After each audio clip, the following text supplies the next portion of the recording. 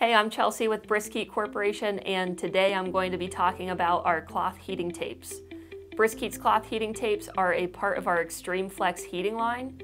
Oftentimes in the industrial world, heating cable will be referred to as heating tapes, but at BriskHeat, we redefine the meaning of a heating tape.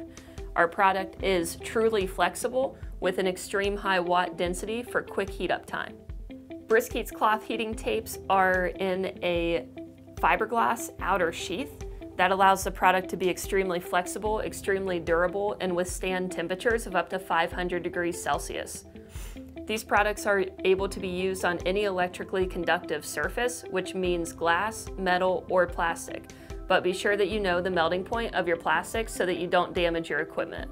BriskHeat's BIH and BWH heating tapes do require a temperature controller for use, so we often will recommend our SDC on-off controller or SDX PID controller. The heating tapes are extremely versatile. They can be used in the laboratory on items such as gas lines or small vessels. They can wrap around diameters as small as one quarter of an inch.